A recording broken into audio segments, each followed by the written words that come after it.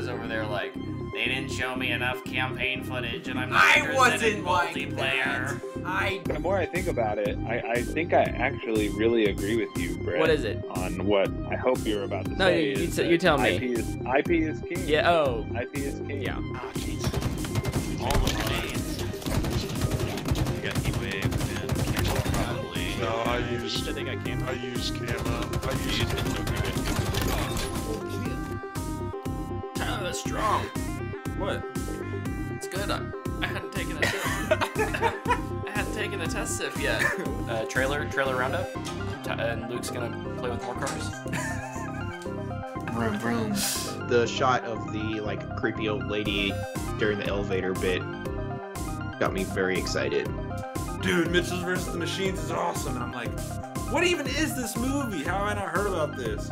Um, I also want to give a shout out this week to my, my wife, My wife. who got me this awesome A24 book. Make it rated R and release it on Hulu. The next Do it, announcement. do it, you cowards!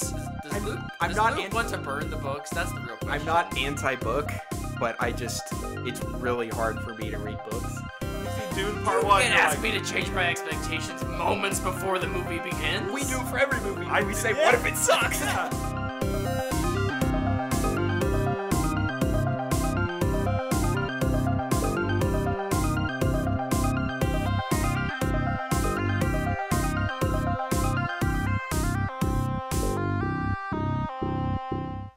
What is up, fanboys and fangirls? Welcome back to another episode of the What the Fanboy Show. Hey. Is that Batman? That's bad. That's Batman. Well, we'll talk about Batman here in a little bit. We'll talk about DC here in a little bit.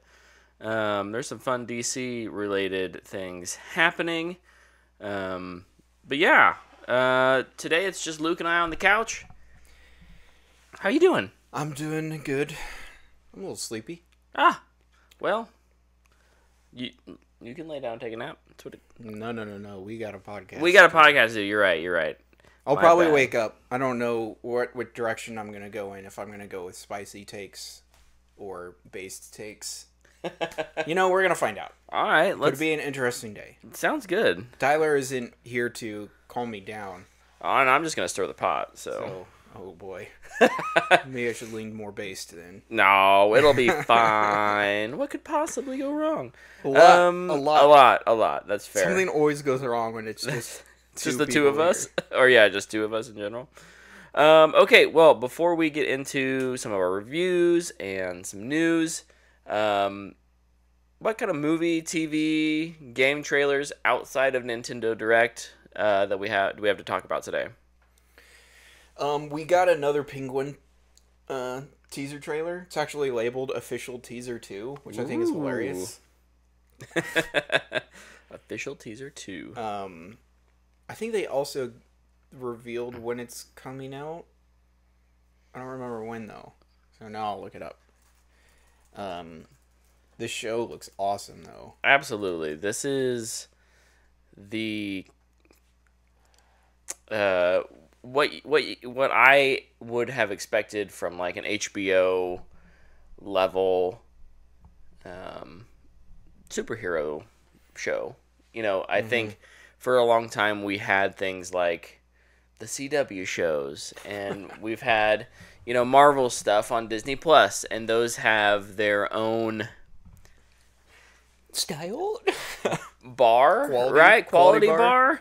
And I think when I hear Matt Reeves, you know, it's it's a Batman in the universe of the Batman, starring these Academy Award winning or nominated actors. Um, Dude, we gotta get Colin to win. we do gotta get Colin Wynn. Uh, yeah, it just it raises that bar up, and right now, super hyped for this. Yeah, it it looks awesome. It it does feel like it's kind of setting a new bar of superhero. I mean, I feel like DC is had a pretty high bar. They also have a very low bar. Let's not gloss over that. There's been a lot of garbage from the DC side, but like just recently we've had Peacemaker, Yeah. which was awesome. Yeah. Um, obviously there was Lindelof's Watchmen show, which was fantastic. Yeah, Um, but this is so much more traditional characters. Yeah. Almost. Like it's in the Batman universe. Um, I know we had Gotham already, but this trailer was better than all of Gotham already.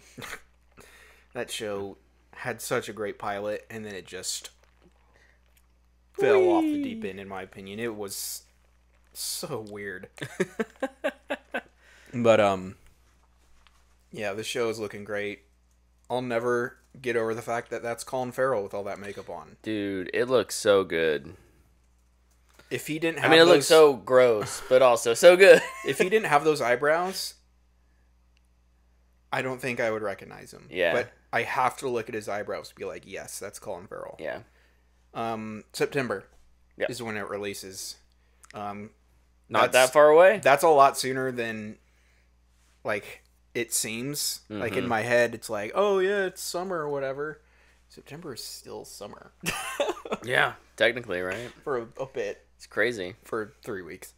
Um, but yeah, this this is looking really, really, really, really good, agreed. and the cast is awesome too. I I said this in our little group chat, and I don't know if it will happen. I'm leaning towards it won't happen because it'd probably be expensive, but I still am just hoping that there's an episode where there's some like drug deal or mm-hmm. you know criminal activity going down in the narrows or something. It's like, oh yeah, we got to do this deal. So, oh, what's going on? Where? Hey, where'd Jeff go? Yeah.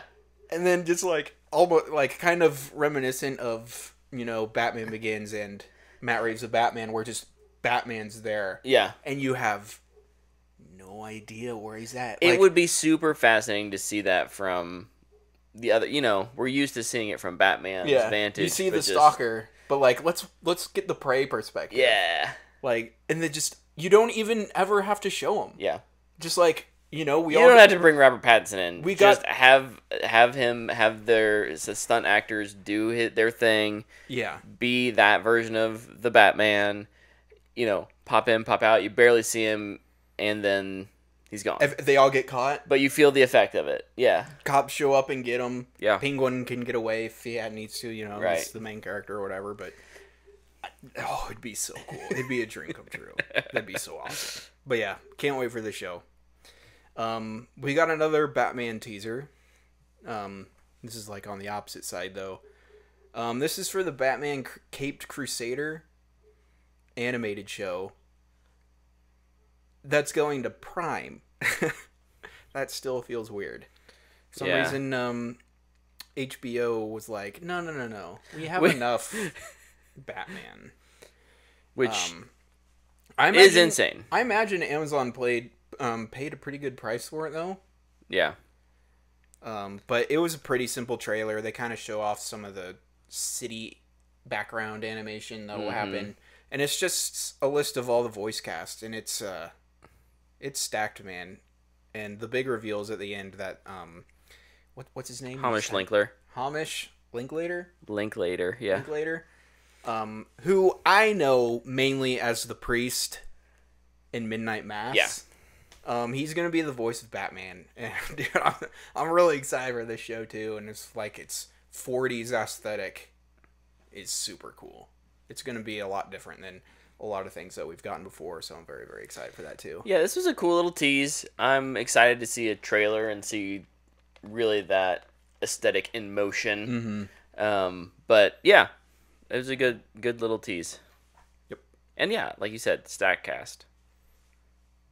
It, it McKenna is- Grace is in there. Uh, Minnie Driver, Diedrich John Bader. DiMaggio, Diedrich Bate. Yeah, He was a and voice he's and he's played Batman, Batman before. Before, yeah. Yeah.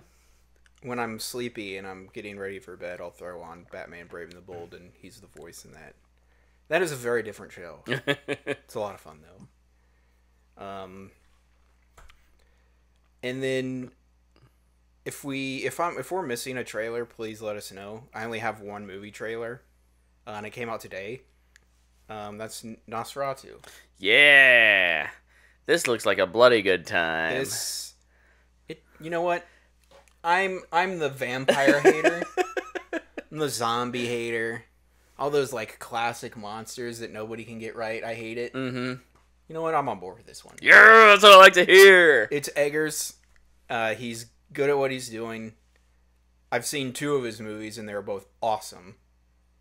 Um, but that being said, like, if you saw this and you didn't go see The Northman, it's like, come on, man. you have to watch. I feel like you just have to watch it first. Be like, you like to pay your dues. Yeah. It's like you didn't support him the first time, or the second time, or the third time. So you can't see this until you see the other stuff. But uh, I I should watch The Witch.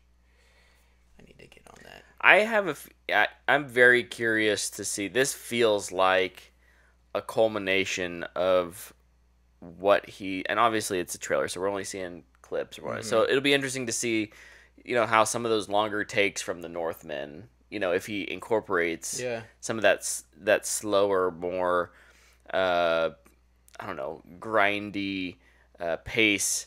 Um, I will. I'm. You know. I'd put big money on that. yeah, but Because I there's feel like even the Lighthouse had that. There, yeah, absolutely. But there's parts of the Northman, specifically the stuff with like Willem Dafoe, who is also in this one, where it's chaotic and mm-hmm. almost animalistic or spiritualistic, and this feels like it's way more interested in talking about, you know, Nosferatu, aka the vampire, Dracula. Spoiler. No. Oh, my bad.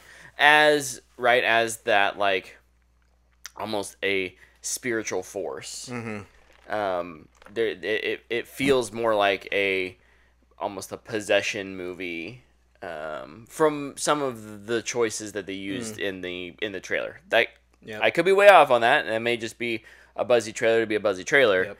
Uh, but yeah, super excited and ready to be scared. I just whoever Eggers is um Eggers is, is um whoever his cinematographer is, I love it. Oh yeah, yeah. Just doesn't like the lighthouse and the Northman were just so gorgeous to look at the Mhm. entire time. Yep. So maybe that's what convinced me. It's just like, man, this just looks so pretty. Because it like most, I feel like a lot of vampire and you know like classic monster movies, they don't typically look like this unless they're the really old ones. But it's kind of harkening back to that as well. Yeah, it, old it school. it feels feel. old school with modern sensibilities. Mhm. Um, yeah, which is which is great. Which isn't new for him either. He made a four x three black and white Yeah, 1940 he's looking thing. he's one of those really interesting directors who dives into not just like a complete fascination in history with whatever he's writing and directing about like the story like there's the whole thing with the northman like the, he really got into that mythology and you know shipbuilding and understanding what it meant to live in that time. Um, but i feel like he's similarly with film and technique he's constantly looking at how do i make this movie feel you know a certain way um, so my guess is yeah he's going back to those um, you know early 1900s films and looking at how did they create these kinds of shadow oh, that's a really basic thing that most cinematographers and lighting people would know right? But like really diving into okay how do i make this with using today's equipment with the image quality that we have because you, you, you can't do some of that stuff the exact same way. You can't shine those lights um, and have it capture on a digital and i'm assuming he's on digital and not film but you're right like it captures differently on a digital sensor than it would on film Mhm. so And plus, even if it is film, it's not a. yeah yeah yeah it's, it's a different kind of it's the, obviously a more modern film and they're Yeah. capturing at higher resolutions which means your makeup has to be different so Mm-hmm. all of those things together he just seems like the kind of director who really enjoys digging into that kind of stuff. It's probably the director that'd be like, you know what? Can you just give me a camera for 1910? yeah he Let's probably just would it on that. Can we we'll just ADR the- everything. it'll be fine I'm really curious what Nosferatu will look like too. Yep, they do a good job of not showing. Obviously, like you see the image. I see the image all the time on Twitter of him because usually it's used comically. Yeah. Um, but like, how how will it compare that? Yeah, we Even get- that like super old version of the character still looks super creepy. Yeah, very creepy. We get some like you know, kind of like bare Veiled shadow. veiled shadows and and like a uh someone who's you know maybe either naked or or at least doesn't have a top like but like we see like their shoulder like it's in a Skarsgård right so it's like that like gangly shoulder Which work Skarsgård? and uh it's Bill isn't it The it clown. yeah Yeah, that's Bill. Bill, Bill, Bill, Bill, Bill, the gangly clown. I'm like 90 yeah yeah he's gonna pull that off he's gonna look So, so creepy And the next one, which Skarsgård is he working with? he has yeah he he's One Skarsgård per movie. jumping around. I love it. Uh, whichever one he hasn't worked with yet, I don't know. Yeah. But hey, he convinced me, the vampire complainer, to be interested in his movie. So Love it. Love to see it. All right. Well, real quick, um, we don't have like a big main topic, but Luke and I both watched something. something this week, so we can kind of give some quick reviews uh, before we jump into news. I'll real quick talk about Inside Out 2. Um, huge movie. Uh, apparently saving the box office this year, according to the internet. Um, Until the next movie comes out and saves the box office, but yeah, yeah. because that's the trend. It's And like, then oh, something ha- and then money? something will bomb and will doom the box office. No, Furiosa already bombed because for some reason people didn't want to see a great action movie. God, I, I don't understand. I'm I see every day the box office numbers for Furiosa on Mm-hmm. Twitter because somebody posts it. I'm just like, what did the everybody have a problem with this movie about? what, what was? Why didn't we see it? It was. It was so good. I'm sorry, Luke. I need to watch sorry. it again. I need to watch that and Dune 2 again because obviously I I'm kind of conflicted on what my number one movie is. I do need to see Dune 2 again. I haven't watched it yet. But anyways, Inside Out 2. Um this is Pixar's first sequel in a while. Um, I say that let's just say this is their first movie in theaters. in a while. In a while. yeah. Um and the the the big obvious thing is you should send Pixar movies to theaters because they actually make money. Should just send movies to theaters. You should. You should. money. Um You can still put it on your streamer. Yeah, absolutely, absolutely. Um, look, this is like eight years after seven years, five, six. I don't know. Riley's thirteen. Um, she hits puberty and has to deal with a bunch of new emotions, um, and friends, and what is growing up, and dealing with that stuff like. Uh, it is incredibly well done. I think it's right up there next to the original Inside Out. Um, my like biggest complaints, if you can call them that, uh, would be that the stuff that's happening to like joy and uh, kind of the the older emotion, the the the original emotions from the first film, it feels very s- their journey feels very similar to Inside Out 1. It's like Joy thinks she's in control and like she's accepted that like that means everyone on the team gets to be a part of Riley's life. New emotions come up. She doesn't know how to handle that. Uh, they have to go to the back of the mind, or they get sent to the back of the mind, and they have to do a little mission to get back, right? And they learn, and they learn things along the way. Have to find an imaginary. They friend. find an imaginary friend. It's the video game Crush character. Uh, that one it. is that one is in there. The big the big one is not. It's pouchy. Oh, so it's an actual imaginary friend again, There's a like new Bing Bong. no. It's from a. It's from a. It's similar to the. It's from a show. Like oh. it's not a real show. Like a show in that universe. Paw Patrol version of their universe. Kind well, it's like the Dora the Explorer. It's like Oh, it's like the map or the backpack or something, right? Like it's the the like talk to the audience kind of a thing. So like this character is just randomly talking to no one. but sometimes they'll put the camera so it's like it's actually talking to the movie theater audience, which is really funny. That's great. Super fun. Uh, really well written. Uh, voice acting was excellent. Um, they didn't bring back Bill Hader or Mindy Kaling, Yeah. which I don't know why. Money.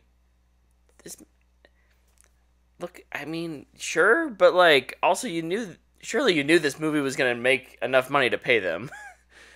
I- they're not. They're. I don't think that they are. To an average audience member, I wouldn't say that their new voice, the new voice casts there, are so different that it's noticeable.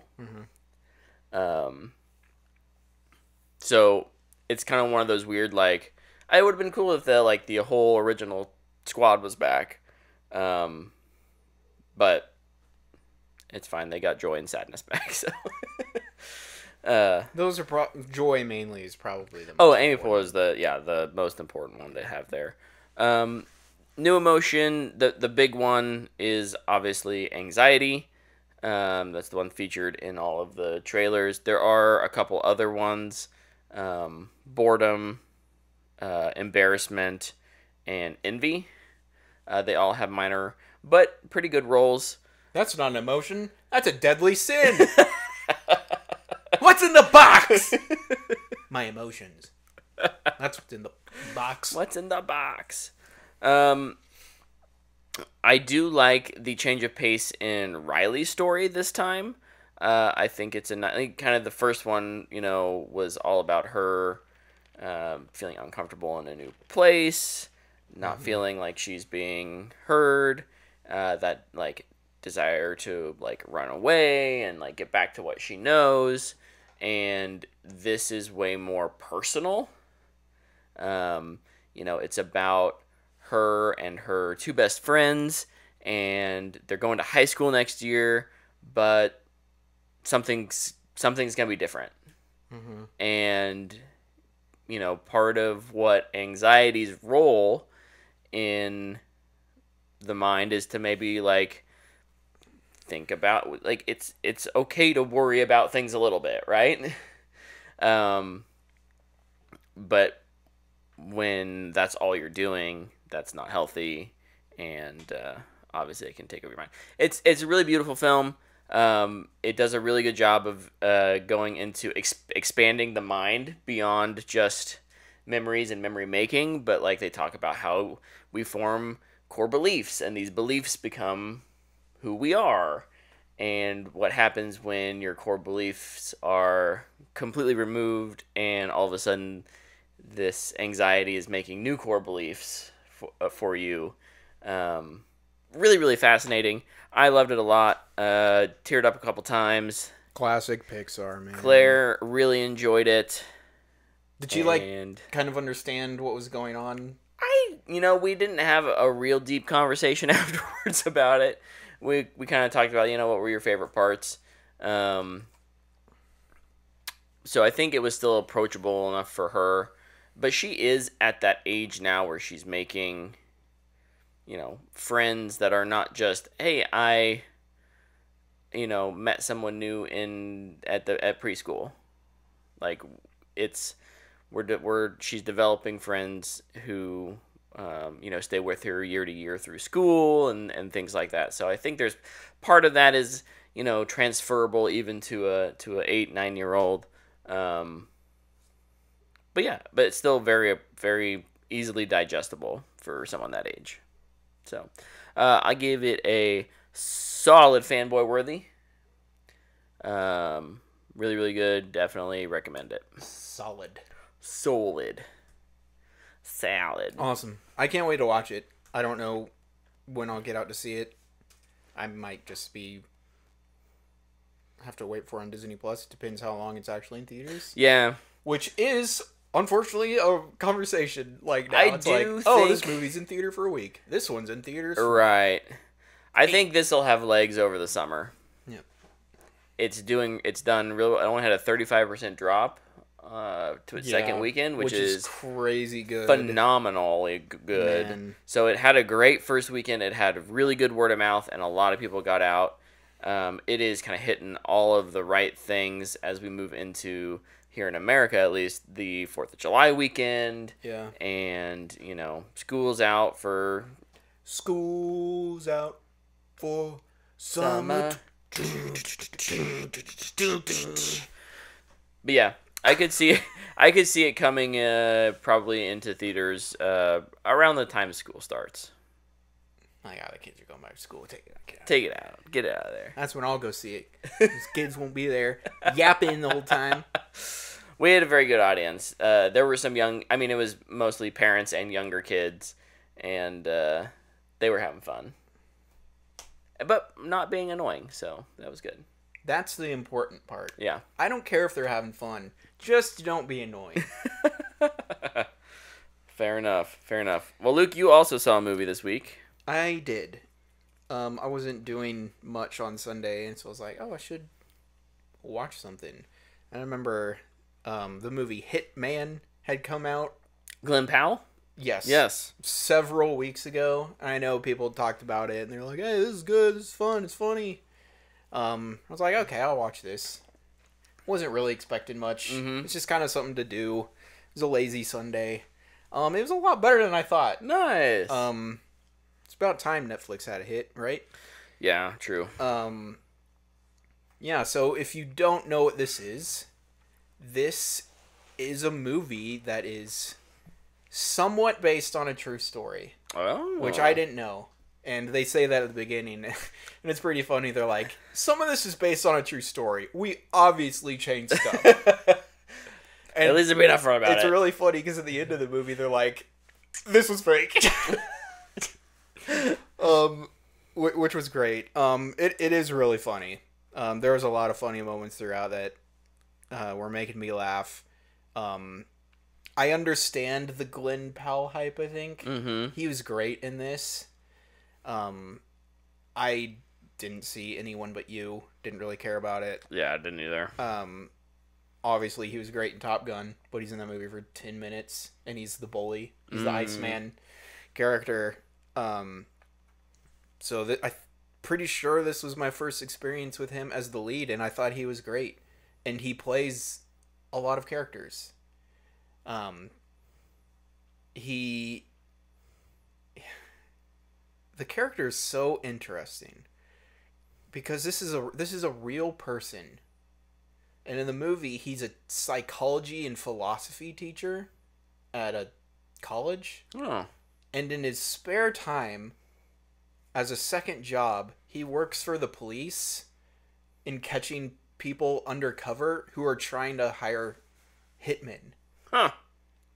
and like the whole reason he gets the job is because the guy who usually goes undercover gets in trouble because he's like a dirty cop or something and so he gets suspended. So they're like hey you're up. Okay. but that like led to me going like okay well this is a true story but this dude is good at everything. So like throughout the movie i was like arguing with myself the whole mary sue conflict hmm that goes in mainly superhero movies. Yeah. um or i should say nerd movies. It's typically star wars. I was like this this is a mary sue character. And how come nobody has a problem when it's a a white man? Like, what's Mm. going on? Anyway. Um but no it's it's a lot of fun. Um the other per- the other lead in this is let me get her name adria arjona. I probably said it wrong um famously in morbius oh. no Oh, that's yeah. not that's not the famously she's in andor Sure, sure, but Um, I but I recognize her from yeah. Morbius. Yeah, yeah, yeah. Um, I feel like more people would recognize her from Morbius. It's unfortunate because she was not good in that movie. Nobody was good in that movie. Nobody had a chance of being good in that movie. Um, she is great in Andor, and she is great in this. Mhm. So I'm glad she just doesn't have Morbius as her like um what's IMDb? They're fa- they're Oh. right here. Um, Known for. N- yeah, they're known for. It's Yeah. like, what are they known for? Morbius. Oh gosh, this ain't, this ain't good. But no, she's she's great. They have great chemistry. Um, they're a lot of fun together. They're very funny. Um, I'd say a very very fun part of this movie, while it's not a huge part of the movie, is the costumes and characters that Glen Powell's character plays.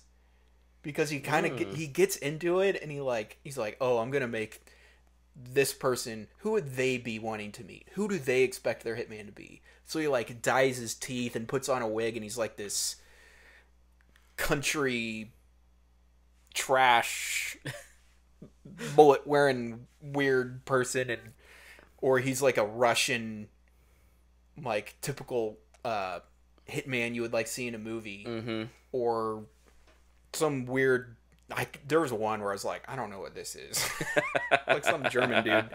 Um, but he is like he makes all these little alter egos that he goes out and meets the people as, and like he's still playing his character, but his character is playing somebody else. Mm-hmm. So I thought it was a really, I thought it was a really well done performance. Nice. Um, but yeah. Um, let's see what else happened in this movie. Um, something that just I realized when it ended. So the main character's name is Gary. And one of his alter egos, kind of the one you spend the most time with, his name is Ron. Which are two characters in Parks and Rec. Oh. In Parks and Rec, everybody loves Ron. Yeah. Ron is like one of the best characters in the show. yeah, yeah. Gary, you know, Gary Gergich, everybody hates him. You know what? And it's the same in the movie. Ron is super cool. Cool. Gary's a dork. Yeah. And the best part is, is Retta is in the show, who plays Donna in Parks and Oh Rec. my gosh. So like, I ended it. and I was like, is this just like a Parks and Rec rip or like spinoff? yeah. And so like, it like made it better in my mind because I just thought that was funny. Just a little get together. It's like, yeah. oh, this is just in New Orleans, but it's in the same universe as Parks and Rec, where people are kind of weird. Um, but yeah, it's it's a lot of fun. It's funny. It's lookly. Um, it's R rated. If that's uh, important. important to you, there is quite a bit of language. There's some sex scenes. Ooh. Um, but it was a lot of fun. I I would give it a fanboy worthy. Um, It was it was a lot better than I was expecting, and I feel like that's just with Netflix. I'm like, oh yeah, people are saying they like it, but like, how good is it really? yeah. It's like, no, this is good. Uh, It's Ste- fun. Stephanie watched it and liked it and told me, "Hey, if you want to watch it, I'll watch it again." So I think you'd like it. yeah, It's it's pretty unique too, just in like its story. Like the fact that it's a true story is crazy, and Yeah. obviously they do change stuff. right. Over in the chat, Baroque says, "I thought Glen was really good in Devotion, the Korean War movie about the first black Navy pilot. That was, uh, yeah, I remember That's right. wanting to go see that movie, and not for whatever reason. I don't know. Was that around the same time that Jonathan Majors was going through yeah, the first bout before. of? It may have just been summer movie season and just just no time to. yeah. Yeah. But yeah, I think I think Glen is a is a great actor. I think he's kind of said that he's gonna slow down and maybe just take the roles he really wants. Um, he's what definitely in that place where he he could get He's almost any role he wants. He's but- John Glenn in Hidden Figures. Eh, what do you know know? You always find the movies that they were like barely in. Right. What has he got in upcoming? Oh yeah, he's in Twisters. Oh Twisters gosh. this summer. That's right. That movie's gonna be garbage, and I'm very excited. Oh, he's Chad Powers in the Chad Powers movie. Okay. Oh, Monsanto, Huntington. Monsanto. That's a The movie about a. Uh, about a Monsanto Monsanto is a place person. corporation. Oh. Mega It's corporation. just gonna go through all the Ag- nouns. agri- agri- agriculture. So they're known mostly for their. Why not Uh, just click the link? A young man hatches a murderous plot to inherit his family's wealth. Ooh, Oh. that actually sounds pretty. oh, that's fun. Huntington. Oh, Huntington. that one- that one sounds fun. Murder. Murder. Ironically, that's kind of what Hitman's about. Um, So this is for Monsanto. Uh, young attorney Brett Wisner, Brent Wisner. Dang it! I thought it was gonna be me. I was, you know, I was, I was just thinking of you. Takes on a case against Monsanto on behalf of groundskeeper Dwayne Lee jo- Johnson. They had to put the Lee in there because if it was Dwayne Johnson, everybody'd be like, huh? the Rock. Um, who used the company's weed killer Roundup and developed cancer. Is this the like the movie we saw with the Teflon? Yeah. Is it that It's- story? No, no, different. Uh, that was DuPont. Uh, different American uh, conglomerate who does not care about the health effects of the chemicals they're putting in their products.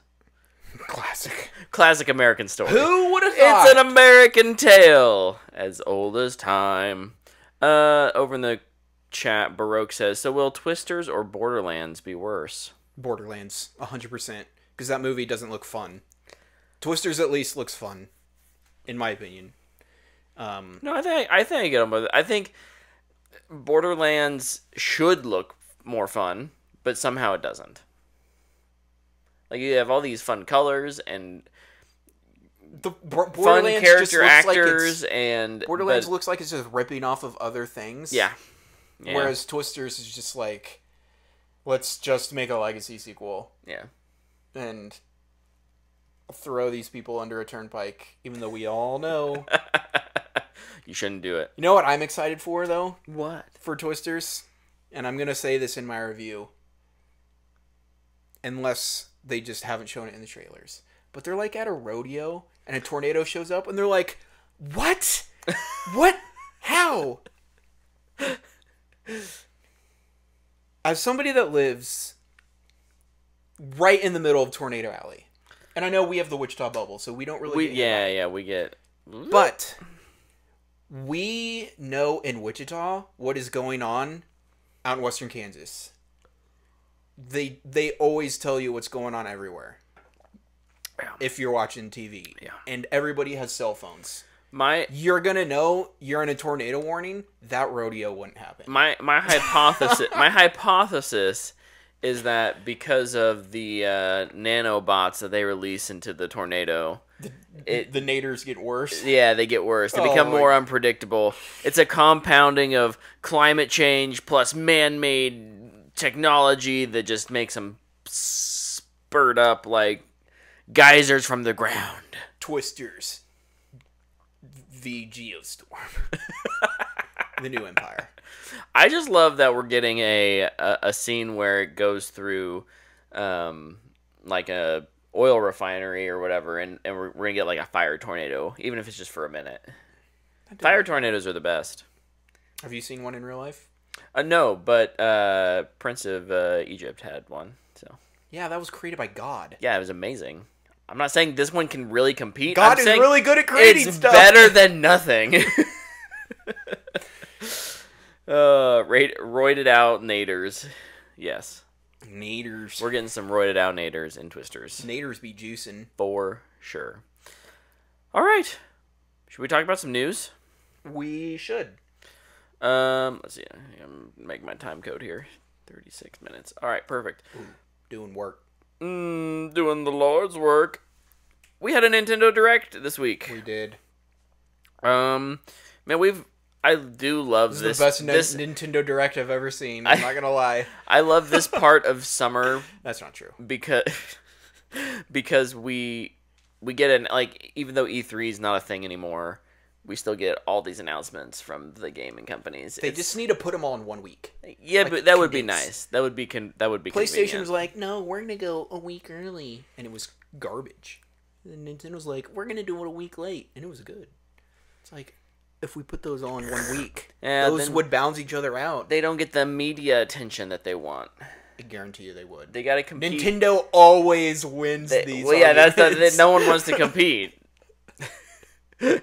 Anyways, uh, what are some of your highlights? You watched this. I did, I caught the cliff notes, so you can tell me what. I saw a few things. I'm not gonna mention everything. No. because Not like- everything's worth mentioning. But if you saw something, if you saw something and you want us to talk about it, there's put it in the so many games on Nintendo where it's like Yep, that's not for me. Yeah. That's not for me. That's not for me. Even like games that I think look cool. Mm-hmm. And I'll just start with this one: Legend of Zelda: Echoes of. I didn't write down the whole title. Um, oh. Echoes of Wisdom. Wisdom. That's Thankfully, right. I already had the article pulled up. um, there are some things in that game that I think are so cool. Mm-hmm. Like the way combat works, where it's like I can just copy and paste anything, which is like, like reminds me of Tears of the Kingdom, yeah. where it's like you can build all this crazy stuff. Yeah. And this one, it's like I'm gonna copy this monster, I'm gonna put it over there, and now you fight the monster. Mm, I think it's genius. yeah. I'm not gonna play this game, and I love the art style, Mm-hmm. uh, but I'm not gonna play it. I played Link's Awakening, the the remake, Mm-hmm. for like two hours. I'm too dumb to play that game. I'm, what am I? Bad at games. I'm bad at video He's games. He's bad at video games. Um, This is true. but I th- I think that was a great showing, and people have been wanting to play Zelda forever, Yeah. and now you finally can. Yep. Um, so I'm I'm glad this was finally announced. Um, I think it looks really cool, but I'm probably not gonna play it. Sure. It'll fine. probably also be seventy dollars. Yeah. um, which is just another reason. Um, but yeah, super cool. Um, some another game that I I doubt I'll play, but I think looks really cool, and I think it's another thing people have been waiting for is another Mario and Luigi game. yeah. Um, Brothership. Um, obviously it's Mario, so it's like way up there on their flagship of games. Yeah. It's Um, a it's a tent pole. When I don't IP remember when the last Mario and Luigi game came out. Um, Been a hot minute. and then they're also doing Donkey Kong Country Returns HD. I think it's like the third or fourth time they've released this game, which is very Nintendo. Um, but hey, um, if if people are excited for for it again, so they can play it on their Switch now, you know what? I'm happy for you. But like that's that's three games there that I'm probably not gonna play. yeah. Um, but there there's one they announced that I am gonna play. The You know what? Lego Horizon Adventures. That's right, baby. Horizon and Lego on Switch. A PlayStation game on Switch. I will buy this just for the sake of letting PlayStation know that they don't need to only release the games on PlayStation. No, no, no. I probably won't play that unless it goes on a Switch sale or something. Yeah. Um, it did look super fun. It does, yeah. Lego games are like always great. Mm-hmm. Um, I'm also curious what the story will be, and is it canon to the Horizon universe? Absolutely not. Lego the Lego games are never canon to anything. I mean, you never know. The Jurassic It's a sci-fi universe. The Jurassic Park Lego game is just like all of the movies crammed into one game. And then they like somebody like creates some weird dinosaur, and then somebody's gonna be like, "We're gonna put that in the Scarlett Johansson one." Absolutely. Like dinosaur. Absolutely. Uh, so here's my other guess. Uh, Tales of the Shire, Yeah. little Hobbit game. Yeah. How'd you know? No, Oh, I didn't even. I don't. I don't even remember that. left a real positive impression. Hello, Kitty Island. Let's go. Uh, what? I'll, I'll say this about Nintendo. yeah.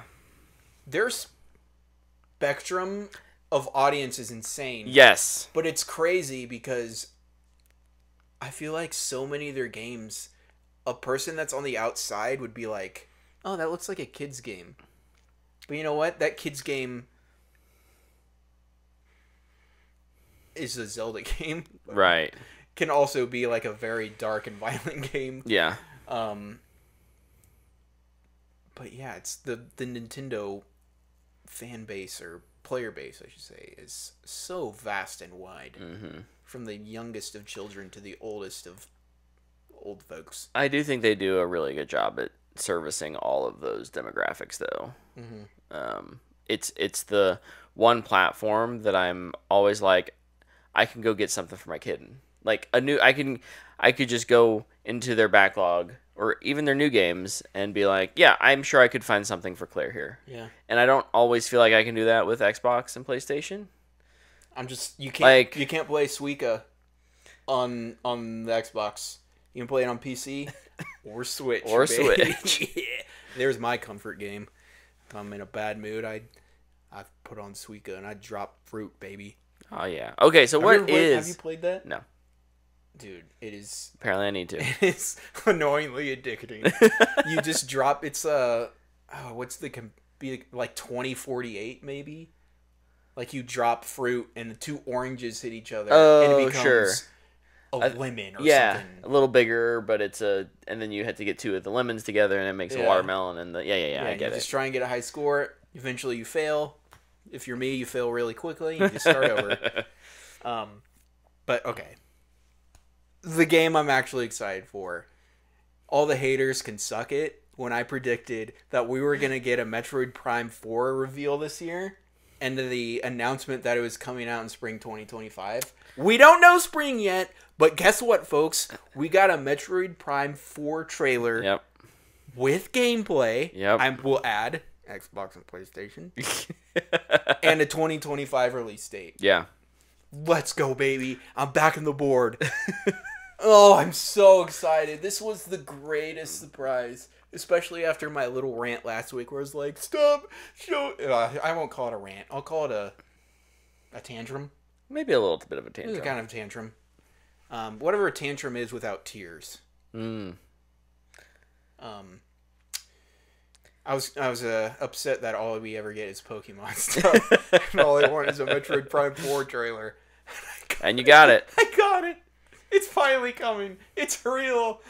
Oh, this and it looks so awesome. And the fact that like they're just like, okay, retro, just go make it. We took it away from you. Go now. You have it back. Go. Yeah. Go do your thing. Yeah. It's like, let's go, baby. We're back in action. It looks so good. I can't wait. Yeah, this was definitely the uh, the thing that I got most excited about as well. Out of you know, not watching it live, but it was the first thing I wanted to go look at.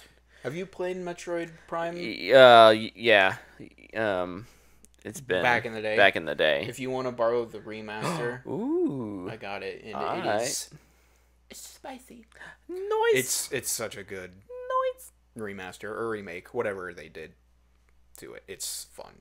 That's a such a fantastic game. But yeah, to finally like be have Nintendo be like, okay, it's real. Metroid Prime Four Beyond is what it's called. It's it's actually real. It's coming next year. And now people are like, Switch Two? Is this a launch title? Um, Yeah. Dude, it might. It would probably convince me to get whatever the Switch Two is like just yeah. as fast as I could. Yeah. Um, and I do feel like the Switch is showing its age, at least in terms of loading. how? When did the Switch come out? Didn't it come out like 2015, 2016? I wanted to say When did- sixteen, maybe seventeen. The Switch. I feel like it's like seven years old. 2017. Seventeen. Yeah, so it is seven years old. That feels like a pretty quick turnaround. I don't know why. Well, they did the upgrade back in like 2021. right? They That's did the OLED version. When did? Maybe I'm just. I don't know. I guess it. It maybe I'm thinking of because like Xbox One X and the PlayStation Four Slim or whatever it was came out before those, and I'm probably trying to pair it with those where X, uh, Nintendo's just on their own schedule. They really are because they even between the Wii. yeah, they've had the they had X and the. Well, they had the Wii U. Five. Well, they also had the Wii U though. Nintendo had the Wii U, which was like. We don't talk about that. yeah, okay, but I'm saying Even they were like, Oh, "Oh, what no." we thinking? This sucks." like that console didn't live seven years. Tyler's not here to defend his Wii U he had for three weeks. Oh, decisions were made. How unfortunate. but it's man, I can't wait. Metroid Prime Four, bring it on, baby. Yep, yep, pretty exciting. Were this were there any other gaming news stories this Um, week? I don't have any written down. Okay, I didn't say I've not been off grid, but um, News is too hard to follow. it is. No. Uh, Baroque, where is that dude? I missed the first twenty minutes. Uh, he's just not here today. He's he's uh, he wasn't feeling 100%, so we gave him the night off. He has the black lung. He's bedridden. He's got grayscale. And grayscale is contagious, you know. Eh, I'm not afraid, grayscale. Oh, okay. I got my COVID vaccine. Same thing, right? Actually, I haven't gotten that. in you haven't got a booster? I, th- I think mine is probably expired. Ah, I'll, I'll be all right though. you'll be fine. You're. Ah, you also have asthma. Maybe not. Does asthma make Higher red. Yeah, absolutely. Oh, not grayscale. COVID. Oh. No. No, I'll be fine. I've had asthma my whole life. I'll be all right. I don't Okay, have cool. severe asthma. I, I love how we're qualifying this now. It's fine. Um, you mentioned Jurassic uh, World earlier. Scarlett Johansson signed on They gotta, officially. they gotta get a new subtitle for the new trilogy, man. Jurassic Yard. Yard. Oh, perfect. We're we went like big, bigger, and then we're we're we're bringing it back. Well, I was thinking like a prison yard. The dinosaurs. Ooh. You know, like it's a it's a zoo. They're enclosed. yeah. Maybe they view it as a Yeah. prison, and it's actually a stomp the yard. Like a like a. Like it's combining. Is it a re re re? We're gonna combine. to remake Um, sequel. A requel. We're gonna combine stomp the yard with um, what's the movie um where they play football in prison? the longest yard. The longest yard, yeah. We're gonna combine those, except it's Jurassic Yard and it's dinosaurs in prison dancing and playing football. It's Yeah. the best movie I've I ever love created. Uh, Baroque's pitch is Jurassic Galaxy. If if we're gonna expand, bring in. I could see like let's bring in James Gunn. Have him do like a Guardians of the Galaxy esque thing with dinosaurs. or Eli Roth. or Eli Roth. Yeah, I mean, he's just not? ripping off Guardians of the Galaxy from Absolutely. So. absolutely. See, it'll be fine. Jurassic, I guess. Planet. I mean, world is just- already they should- planet. maybe they should just change the front adjective. Like I know they have Cretaceous camp. Maybe they should just do Triassic Park. This is the third trilogy, Mm. the Triassic period. We can go into woolly mammoths and the Ice Age stuff. You know, oh, they're developing feathers. I mean, most definitely, Mammals are not all of those show up. dinosaurs are in the were in the Jurassic period. but like they kind of got into how dinosaurs were mutating in Jurassic World, even in Jurassic Park. No, you're not. right. You're It's not like, wrong. Oh, not they're wrong. actually mutating to what they actually were. yeah. It's like, oh, to survive, they had to be this. It's like, oh, so they're developing feathers because they're birds. I think they just do what they did with the second film in the series, The Lost World. Give it a, a title, The Lost World, Jurassic World, right? Like Jurassic Park. It's it's that like Dra- um, the Lost A night- World, a a Knives night- Out story. yes, the Yes. Lost World, a Mad Max saga. the Lost World, a Star Wars. I definitely think they'll keep Jurassic World in there unless they go back to Jurassic Park. I don't think they will. I think they've branded that uh as in like franchise IP esque things think- enough. Spielberg sees Jurassic World as like how they just call it now, and he's just like, ugh. Jurassic World. He's probably like, ugh. And then he gets that check every month. He's like, oh, all right, fine. this is paying oh, for Oh, yeah. this is this is paying for my fourth house, so you know. I'm gonna make another movie about my mom and dad. That's right. And that's funding funding his films. Just like all uh auteur creators have to uh, film their own things these days, like Francis Ford Coppola and Kevin Costner. Did you see he's like gonna have to pay for all the marketing? yeah. Lionsgate was like, "We'll we'll uh we'll be a We'll be a distributor, but we're not paying for Oh, Francis Ford Coppola, I'm so sorry. We'll, we'll um take all That the benefits with none of the cost." that movie is not as good as it needs to be if no one's willing to pay for marketing. I mean, and now you can say that because people have seen it, Yeah. so it's like, okay. I'm still excited. I'll still go see it. Um, but speaking of the other one in that pairing I just talked about, Kevin Costner is officially out at Yellowstone. He has basically said he's he's he's done with the drama. I don't know exactly what that means, but sounds like there was He's more interested in comedy now. oh, not I'm not assuming. Yeah. Well, if it's not, it's the I opposite. mean, there's drama. only two types of movies: drama or comedy. and I'd like to. they're s- both. I'd so like to see him go into horror. Actually, Maybe that's what Horizon is. oh, there we go. But yeah, he's got his Horizon a film Bone Tomahawk coming whatever it was? out. Um, Dances with Wolves. No, no, Bone Tomahawk. Isn't that the horror western? Oh, I don't know. I think it is. I haven't seen it. And I've wanted to, but there's nowhere to watch it. Last time I checked. Mm, darn. Well, let's go check out that last operating blockbuster in Portland, Oregon, or whatever. Or Maybe they'll have it. piratebay.com or something. Oh. that wouldn't end, end poorly. I mean, Amazon video rentals. Kevin Costner stars in and directs Zombies of the Wild West. I'm down. One star on Letterboxd. Don't even need to see it. But yeah, not a ton of news this week. Um, like I said, Inside Out 2, killing it. Um, I think it's nearing uh 800, 700. So this is as of this morning. It has a global This morning, Monday, uh, Monday, June 24th. 24th. Uh, it has a global um, revenue of 725 million. So that's going to hit a Wow. billion dollars very quickly. You know, one some some movie had to do it. One movie always has to hit a billion dollars, Yeah. but usually it's a movie that you're like, huh? Huh? Like last year there was two. It was Mario yeah. and Barbie, and Yeah. uh, Oppenheimer. Didn't it hit a billion? Or did it hit 999 million? You know, I'm not actually sure if it. I don't think it hit a billion.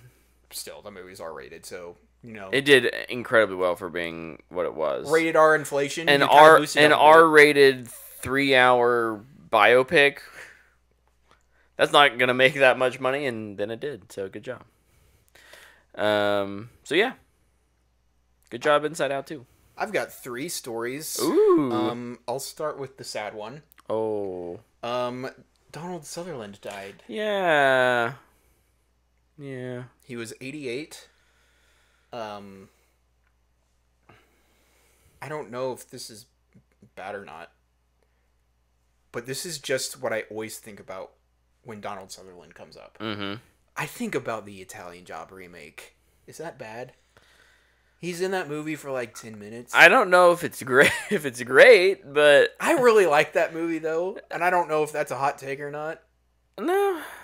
I mean, I don't know why. That's the movie I always think of. I don't no, I don't think the movie. To be clear, I don't think the movie is bad, and I just think it's like that's an interesting choice for I don't know why. the first thing to remember him by, which is. But it, look, it's fine. We all have our own things that we connect people to. So no, And, I mean, most people are like, "Oh, President Snow over Hunger Games," and Yeah. I'm over here going, "Is Charlie Ther- Charlie Theron's dad in the Italian Job remake?"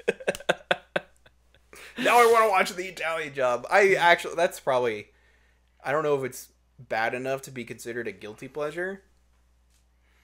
Um, but I really do enjoy that movie, mainly because of the Spider-Man random thing in the middle. Have you ever seen that? Noticed that? Mm-mm. I've never noticed that. You've never noticed Spider Man in the Italian job? It's one of those blink and you'll miss. I was gonna say clearly I like haven't the, been the on gorilla walking across the people, The- tossing black and white balls. right, and you just don't see the gorilla. illusion- Yeah. Yeah. There's a there's a moment in the movie. Um, it's when the street blows up and the truck falls through. Uh-huh. There's just a moment where you see Spider Man right in the middle of frame, like clear as day. If you pay attention, once you see it, you never miss it. That's and it's hilarious. just a dude in this like Spider-Man outfit, Outfit. fully covered, good-looking costume, maybe kind of, and he's just like, "Whoa!" And then, then it goes to the next scene, and it's Edward Norton going like, "Where the my truck?" Yeah. So if if you want to see Spider-Man in the Italian Job, Now I know. now you know. Now you know. Um. But yeah. Rest in peace, Donald Sutherland. R.I.P. Yep. R.I.P.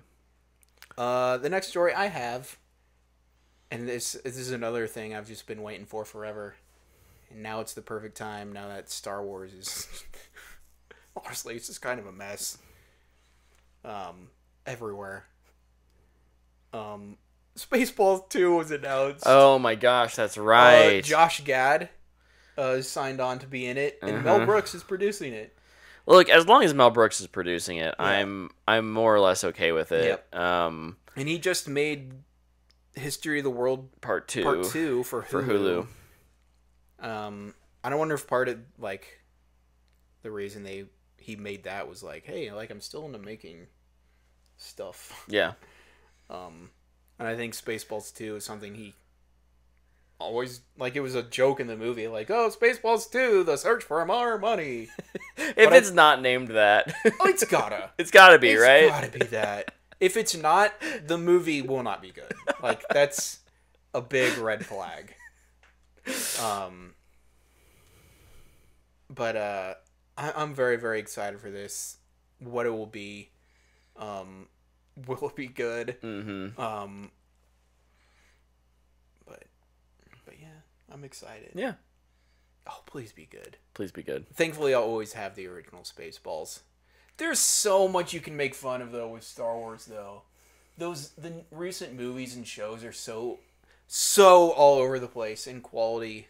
Well, Well, there's so much you can poke fun at, and you have the prequels, you, you've got make fun of. you've got prequels to and make you fun can of. make fun of the fans even more now. I was gonna say even you can you more can talk the about the discourse and the there's discourse. a there's commentary to be had there for sure. No discourse. There's no Star Wars. okay, yeah, there is. Yeah, yeah, yeah, yeah, yeah, yeah. What's your third story? Um, what is my third story?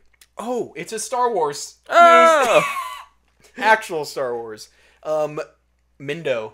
Ben Mendelsohn is returning for Andor season two. let's go. This is the best thing that could have happened for Star Wars. we got an actor that everybody loves. I think in a character that everybody loved, yeah, yeah, who was great good. Yeah, in a movie that I think most people consider one of the best out of the Disney era, if not the best. I know it's a lot of people's favorite Star Wars. yeah. um, I think a lot of people have were like, I like this when it came out, and I think a lot of people have even gone to the like the oh, I I love this. I think I'm the most negative person I've met about that movie. Yeah, and I really like it. yeah, I you know I just have my problems with sure. the middle.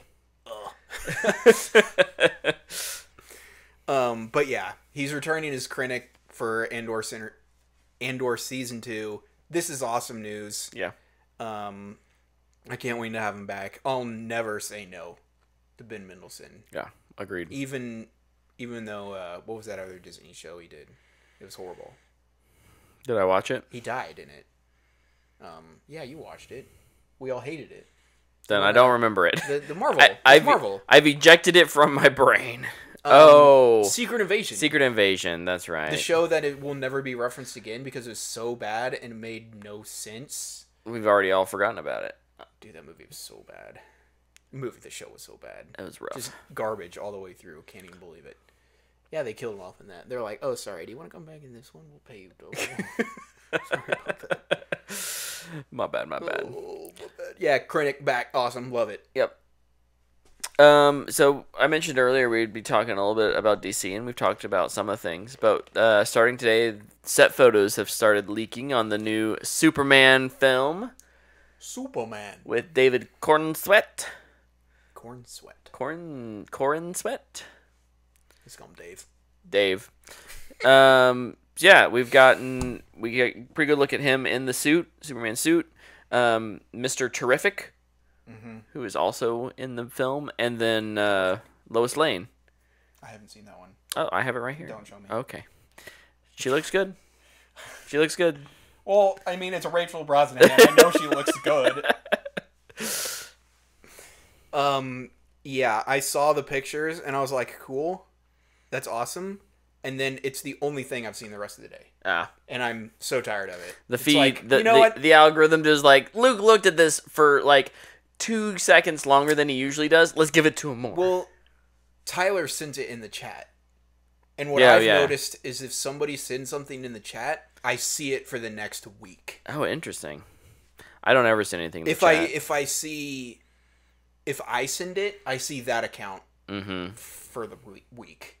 It's and then I usually have to mute it, and it's like, okay, I liked one thing from you. I don't mean I don't like everything you say. Right. But right. like all I've seen on my Twitter feed now is David Cornsweat and uh, I don't remember his name. The dude who's playing Mr. Turfic, and it's just like, Mm. ah, I'm gonna mute everything that has to do with Superman now because you know what? I just want to watch the movie. yeah. If James Gunn wants to show me something, he can show me. That's that's fair. yeah. I don't typically have a uh, a, a This- huge Yeah. problem with seeing on-set photos and being like that's too much. Um, but again, my feed doesn't isn't as aggressive in Yeah, I don't like. I don't mind so seeing it, but it's like, it's just, this is too much. my phone Baroque says my phone hears my supervisor speak in Spanish, so now I get Spanish ads on Twitter. oh, that's they amazing. do be listening. That is amazing, and I love They it. They do be listening. Um, yeah, cool. Okay, Su- suits do look great, though. I'll just say that. yeah, they both looked awesome. yeah, they do, they do. Uh, Luke, did you say you had a fan box question for us today, or are you just saving that for when Tyler's back? Um, well, I had the one we were talking about earlier. And I've ar- and I've already forgotten it. Um, You're gonna have to reintroduce me. Oh yeah. We can wait until Tyler's back with that, or do you want to do it now? No, it doesn't matter. Let's wait till Tyler's. We'll wait till Tyler's back. That's fine. That's fine. And then if it's, it will probably still be relevant because Absolutely. the acolyte will still be airing. Fair enough. So it's gonna be a topic until The day next we that comes out. Oh. I was Well, say forever and well, ever and maybe it ever. Hey, If if, we listen to our if we solve it, it won't be a problem. Okay, Um, we'll t- we can talk about it we another can. week when Tyler's here. We can. So we've kind of both reviewed the big thing we did this week, but like, was there anything else you did that you want to talk about? Weekly update type stuff? Anything worth mentioning? Well, I talked about episodes one to three of the acolyte last week, Mhm. and then you had to bail. I did. I zipped out. Um, And now we have a fourth. there's four episodes now, and it was the worst one. I would say. I I think the show is really bad. So Luke's level here is kind of like middle of the road, middle of the road, up a little bit, and then down, like bad. For you? It was never middle of the road. Okay, so It was- bad, it was bad, bad. slightly better, and then but still bad, and then bad, bad, bad, Bad, bad, not as bad, bad. worse. Okay, Like the worst. the, the, the worst. um I'll I also want to reemphasize again like the discourse around the show is really annoying. Mm-hmm. Just like review bombing stuff just because you think a show is trying to be woke is so annoying. Um just let people make the show they want to do and cast the people they want to cast and let's judge the story and the art they create. Um everything else doesn't matter, but Yeah. also it kind of does. It is important. Um, But still, after what I'm hearing is we're what halfway through the season, we're halfway through the season. and I it feel like and it nothing really has nothing on. been hitting for you. I I think the acting is bad. I think the story is, um, it could be interesting if it was done better. I think the action has been extremely subpar because there's been one action scene, which is the opening scene of Yeah. the entire show, and then in the last episode, just the way it's paced and the way they ended it was just like, who's making this? Mm, I just didn't understand the decisions they were making for the entire episode. yeah. Um, just, I think it's I think it's bad filmmaking. Episode four is definitely the, the thus far the bottom of the barrel for me. I would agree with that. I think that it was weird um, going from a uh, like pay like you look at the season and how it's being paced. Like the first two episodes feel about right in terms of what you're trying to introduce, right? Like you're introducing the world, and so Yeah, so uh-huh. you have like an action scene to get people excited, and then your characters here and there, and I think they reveal they do that reveal very early on um, about them being the the sister stuff Yeah. um, and they don't. I don't think they do that in a way that's really compelling. Um, I don't know why you set it up seemingly as a mystery if you're just going to reveal it in that manner. Um, but then yeah, episode three, uh, a I don't know if I liked it more than episode two. Um, or one. I know one and two kind of blur together for me at this point. I thought episode three did interesting stuff, just with like, hey, these people have the force, but they view it differently. It's a- and because they're Yeah. way out here, it's different to them the way Yeah. they just view it. It's they're witches. It's the exact same as the Night Sisters, Yeah. where they use this green magic. It's the force. Yeah. but they have the thread, is what they call it. Like Yeah. I was like, cool. It's a cool concept, Cool. and I think it's a it's a interesting thing, and it's I thought it was cool also that it's like a Amazonian Wonder Woman style oh sure coven type yeah thing out which here. which which is coven Which is you know what? That's something that also really annoyed me. Mhm. Like people are like, Why are these just women out here doing thing? It's like, do you like the character Wonder Woman? it's the same thing. they probably don't And she was just created out of clay originally. That's how she was made. it's magic it's space magic. The twins are Wonder Woman in the Star Wars universe. It's not that big of a deal. there's Ah. also uh there's also explosions in space and fire in space that's just Star Wars That's they've gotten that wrong every chance they get. yep but they It's just different every time.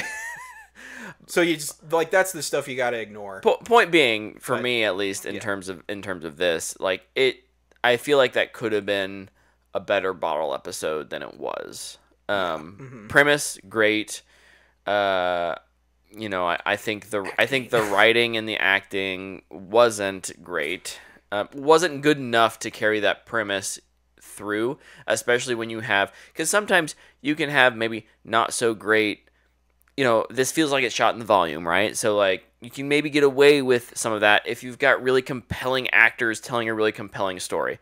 It you still might rub you the wrong way, but you could forgive that. Mando season one Yeah. Um and two.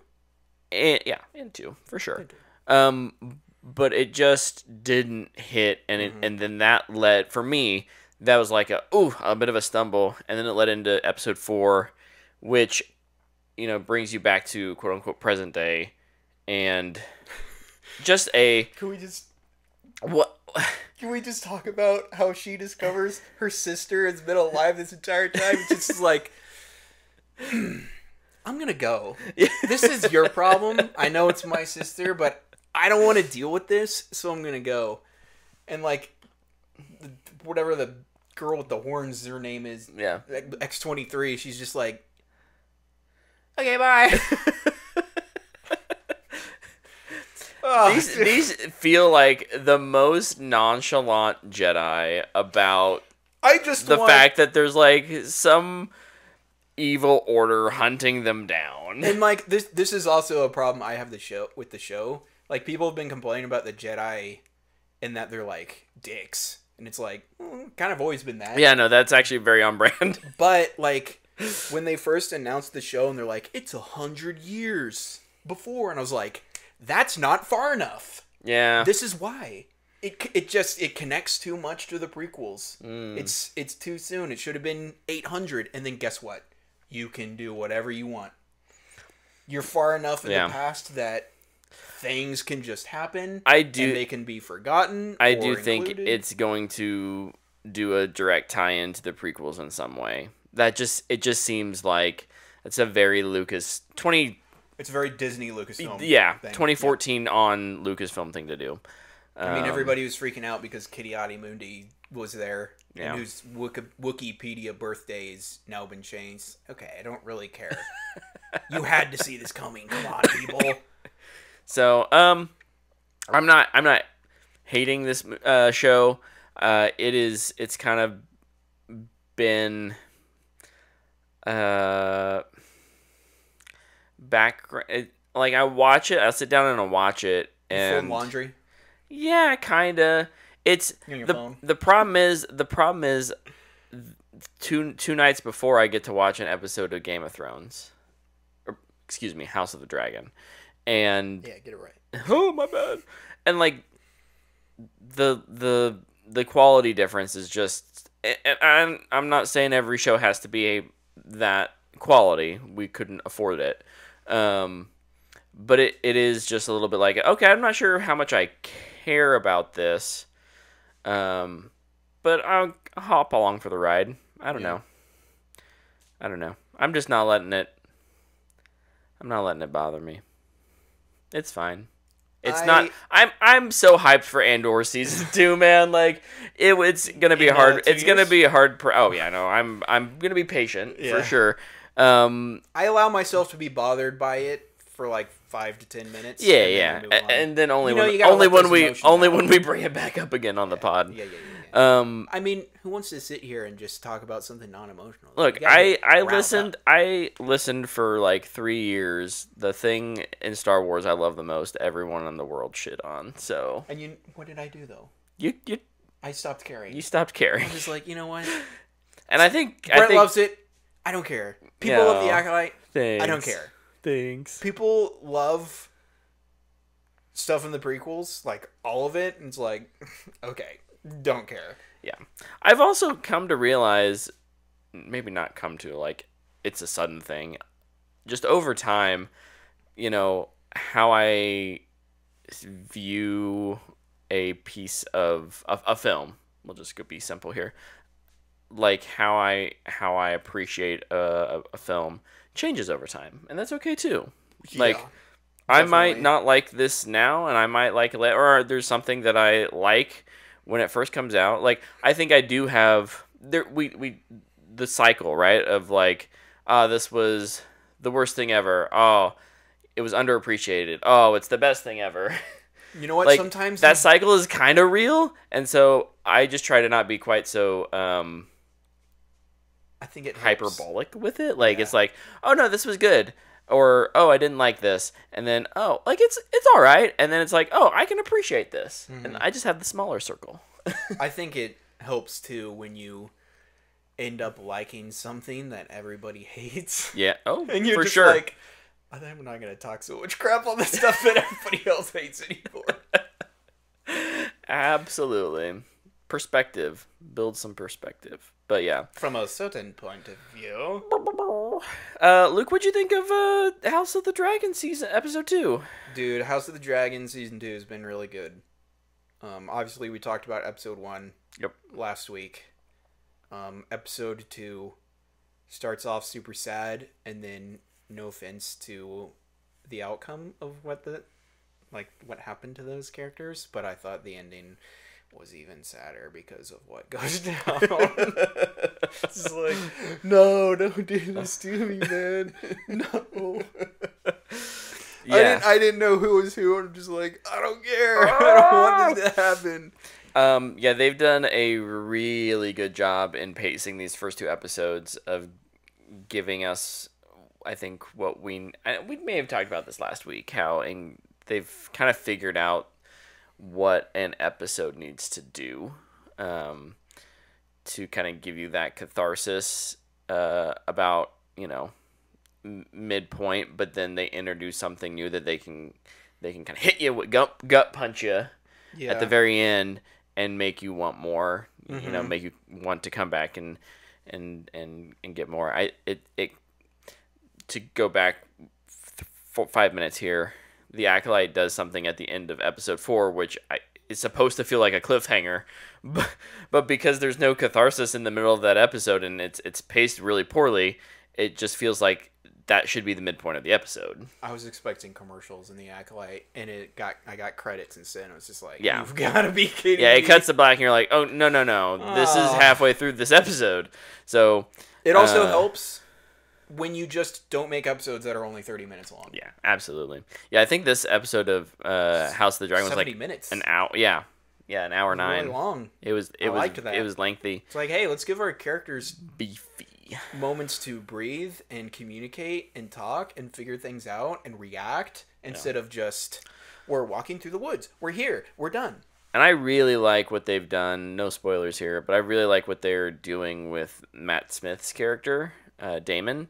Um, he is so fascinating to me uh, because they've definitely pitched him as at least at the end of season one, right? Like he is gonna be this loyal, maybe maybe a bit of a war dog, right? But like, and already here in the first two episodes, we're maybe we're questioning that. We're what are his real motives? And I just think he's a really interesting character because of uh, the complexity he has with the Iron Throne and power and And uh, Game of Thrones universe is the like I feel like the one one of a probably a couple shows where you can actually question oh yeah, what's gonna happen. yeah, Because if this was a more traditional show, you'd be like, "Oh yeah, he's gonna do this, but he'll he'll be back. right, And he'll come in and save the day, yep, and oh, it might be a heroic sacrifice or something." yeah. But this is uh, that's not good This for these characters. good.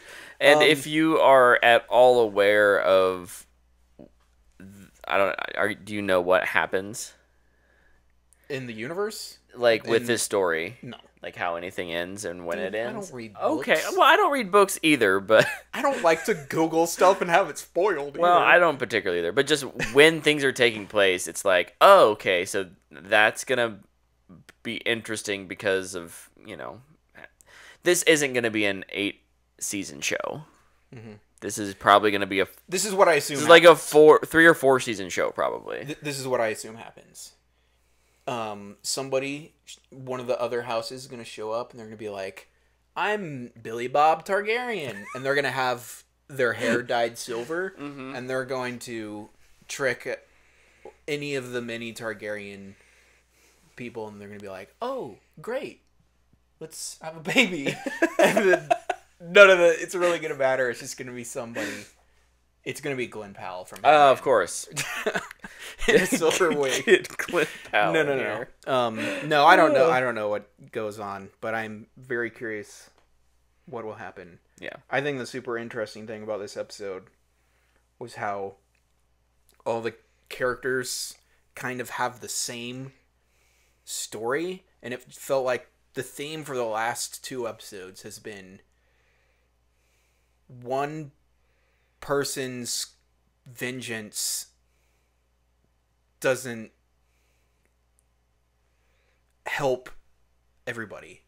Yeah. because something bad happens and one person goes i'm going to do something about this and something worse happens. So somebody one person goes i'm going to do something about this and it makes things worse. So one person goes i'm going to do something about this and makes things worse. And it's like oh maybe selfishness isn't the best tactic you ding dong Yeah. Revenge rarely. Uh, revenge is a dish best served cold revenge is just not the answer. heard Re- revenge won't. Yeah. There's a there's a line in here where it's like when princes squabble, it's the poor folk who suffer, right? And like, I think that's, you know, if if the the powerful people in the world at this point are like if their themes are revolving around grief um and then there's like the middlemen that are doing all this like uh revenge and selfishness uh because they because they don't know how to really help actually because they either have a blind view yeah of how it will help, or it's selfishness in themselves. Like, oh, if I help them, it helps It's me help it helps because me. I'm going to be the hero Yeah. to them. In reality, they're just making things worse. yeah yeah and then there's and then there's the poor people who are wailing hanging from the rafters. Yeah, I was gonna say, crying over fathers and sons, Dude. or Sorry, th- that was the best scene in the episode, though. Not the hanging, but like after, After? that. So good. It's the only time I've really ever liked Otto Hightower. yeah, where he's just talking to Aegon and Criston Cole, and he's just like, it's like this is the dumbest prank I've ever seen anybody do, and like to just call it a prank was just like, ooh, that was mean. yeah. that, that was a great scene, dude. I did, I did love how the gloves came off there for a moment, and I hope we get to see a little more of that before he inevitably You- gets strung up by his grandson. we've been, we've been losing a lot of important I'll call them important mm-hmm. b- characters that just don't have a lot of screen time. yeah. Um and it's like they've all been very meaningful when characters are dying. But I feel like we're going to we're starting to get into the parts now where it's like the, the players are going to start um, taking some hits. The uh the the chessboard. The C team has been taking some hits, and now the B team. I think they should be worried. Absolutely. A-team? Mostly safe. Mostly, Mostly safe, safe Maybe one now. is a shock value moment in the Yeah. season. Yeah, I can see that. Um, but B team, I would be worried.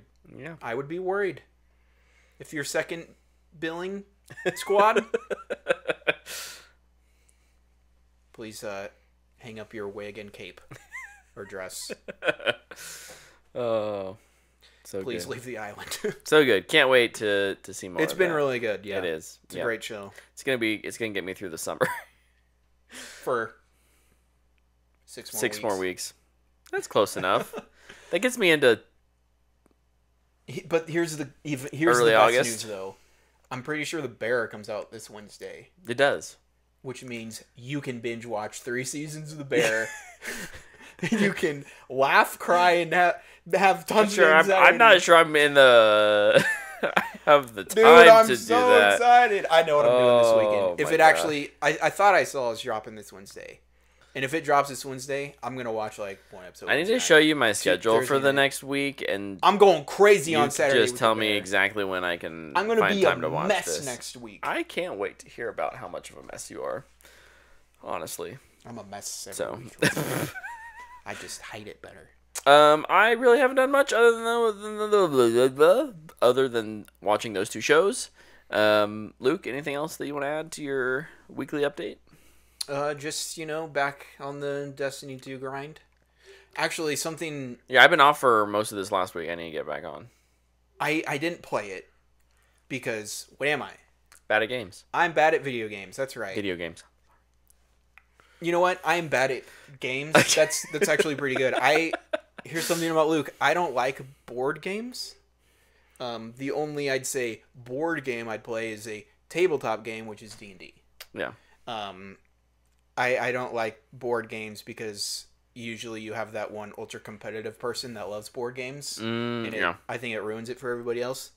Um, but I've I've been watching people play the Shadow of the Erd Tree DLC. For, Oh um, yeah, uh, Elden Ring, and it's like I didn't really enjoy that game because I'm bad at video games and it was really hard. So like I'm just not gonna enjoy it. But it has been a lot of fun to watch people Mhm. just rage through that DLC, man. And then like when they beat somebody and they just like yeah, let's go. Like I even get a little excited. It's like, Yeah. how did you even do that? I don't even I can't even follow what's going on. But uh, it's it's putting like this spark in me to uh, go back into uh, Armored Core Six, which I never beat oh yeah. because it's hard and I'm bad at um, and then also the main thing that I'm like, I should update it and keep playing it um, is Remnant Two, Mm, which is on Game Pass. You Oh. should. Do you have Game Pass? I don't right have now? Game Pass right now. If if you I know I'm the worst. want to play that, I would honestly like put down Destiny for like two or three weeks to just grind that with anybody who wants to play it because that game is so awesome. Nice. I think you would really like it, and plus Tyler has it too, so we could go threesies. It's a multiplayer game, so I'm more likely to play it. That's right. It's a But bet. it's a story-driven multiplayer game. There's no PvP. Hey, you know how much Destiny PvP I've played? Zero. I mean, you've I've you've only played like fifteen hours of Destiny in the past year, so but I but the new expansion. I've played the entire campaign. yeah. I've done some of the exotic quests. I've, I have played with people, uh, but not the PvP part. I mean, I've played one game of PvP. The, the, the- okay, I, need- saw it on I my little to- seasonal challenge tracker thing. And I was like, mm, I need to complain Not about worth the it right now. community for a little Not bit. worth it right now. because this happens every time there's a release Mm-hmm. and new stuff comes out. Yeah. Like new aspects, fragments, or subclasses. People complain about Titans again. No. Well, kind of. no, people complain about PvP. They're like, how come PvP is still in the state? It's Oh. like, just enjoy the new thing. Yeah, yeah, yeah, yeah. It's like maybe it takes a little time for the community to put in some input into their systems and they can Right. go, oh, this doesn't work well. Yeah. Let's fix it. Then maybe they can fix it. Well, I feel like- Instead, it's been it's been like a week and they're going, oh, why, why, why does this grenade do this? And why doesn't my gear three auto rifle three tap? I don't know. Like, Didn't they get new? They got new maps in yeah, Into the Light and they're- stuff, They're so- really good too, man. They're so all like there's there's kind of like a mid you know pre-expansion update i suppose and then i don't know i'm trying to see the silver lining which i know no one actually wants to do It's like, can we just enjoy the new the new stuff? no Like, I know there's the PvP people out there, but come on, like, we're still out here just trying to finish quests. there's still a lot to do in that game so, There's always stuff to do it, which is why I grind it all the time, baby. truth I just have fun shooting stuff. so true so truth so much truth People are complaining about Titans though because Titans are not as good as the other classes right now. So I don't know if you saw the stats from the raid. Did you see this? two titans Three three out of the top 50 teams, which is 350, 300 people, yeah um, three were Titans. so one percent that's rough Um, and I I feel like I can agree kind of. I did finish the campaign on my other characters, mm-hmm so I could unlock Prismatic. There's just so much more synergy on those classes. I played as your warlock for a bit, yeah and it's a lot of fun. it is You can do so much stuff, and there's like it feels like there's multiple options. I can do this, this, or this. mm-hmm Hunter's insane, yeah like straight up. it's easily the best. Their Transcendence Grenade, I think, is interesting. Um, Titans definitely won in that department. I think they have the best Transcendent Grenade, but mm.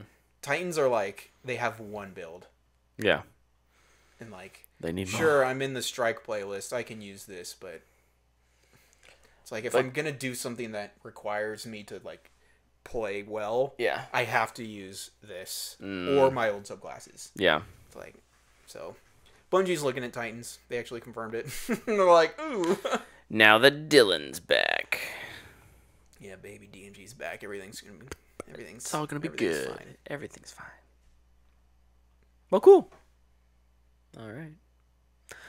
I think that's gonna bring us to the end of this episode. Dude, now I'm just thinking about Remnant though. Lou's gonna take a Destiny break to play Remnant. Dude, Crazy. If, you get Game Pass and download it, I will. You, you too, Tyler. Let's play more. Let's play more Remnant too. I'd be down at some point. Game- Not this week, because I I'm won't gonna- have time. I want to look at my my rankings from that year it came out. I think it was my number two game.